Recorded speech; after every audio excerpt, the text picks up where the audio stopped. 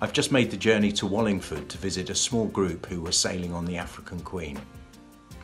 Here is some video footage that I took during my visit.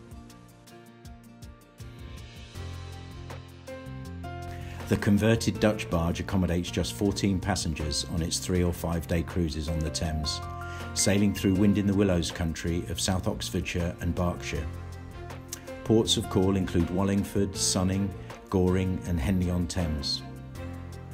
It's quaint and quirky and truly unique with just eight twin double or single cabins on the lower deck and with the lounge bar and dining saloon with outside seating area above. All meals are included on the cruise, including some meals taken ashore. In light of the current COVID situation, pre screening and temperature checks are made with onboard sanitisation and reduced capacity. This great little boat is ideal for a short staycation cruise or for exclusive use by a group of 10 or more.